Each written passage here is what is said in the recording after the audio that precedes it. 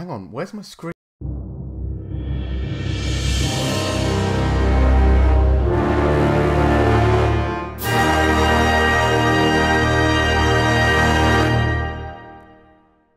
Starting off the news this week, a new study published in the journal Science Advances has revealed that microscopic particles of plastic have been found in the snow that fell from the sky in the Arctic.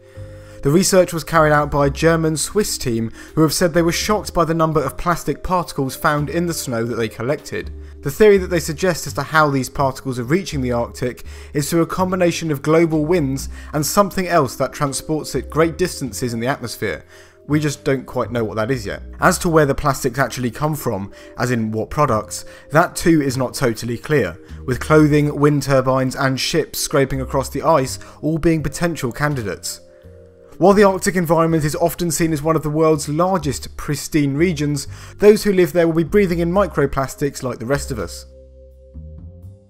In other news, the joint European Russian mission to send a rover, called the Rosalind Franklin rover, to Mars has hit another setback, as a parachute test in Sweden has again failed.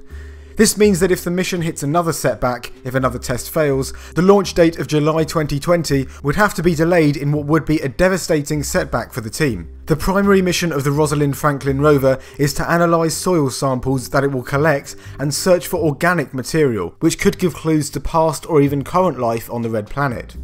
An exciting task, but one that we may not even be able to see for some time if the team can't get everything in order for the next tests.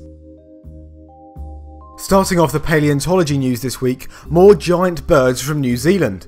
This time though, it's a huge penguin. The new species, named Crossvallia waiparensis, comes from the Paleocene epoch and is based on leg bone material. The species is similar in overall shape and size to another penguin from late Paleocene Antarctica, and is therefore placed in the same genus. However, there are enough differences in the morphology of the bones to justify a new species being named. This animal is now the oldest well represented giant penguin known, adding to the diversity of big bodied prehistoric penguins and providing further evidence that this group of birds developed large sizes near the beginning of their evolutionary history.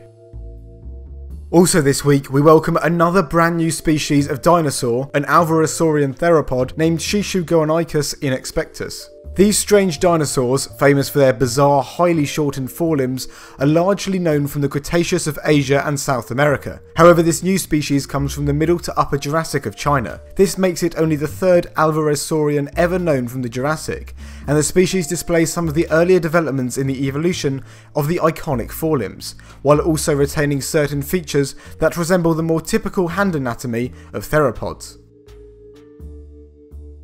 And finally, some paleobotany.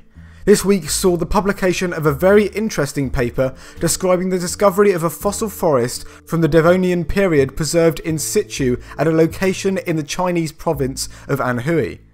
The fossil plants found here belong to a new genus, now named Guangdedendron, a type of tree known as a lycopsid. Lycopsids would eventually come to dominate the Earth during the Carboniferous period, and the site preserves the earliest example of the rooting system that the tree group used in later times. The paper also describes the ways in which this discovery adds to our understanding of how these forests could have reduced atmospheric CO2 during the Devonian and their effects on coasts. Thank you very much for watching this week's episode of 7 Days of Science. If you enjoyed and haven't already, feel free to subscribe to learn more about our world, its history, and the wonderful life that surrounds you.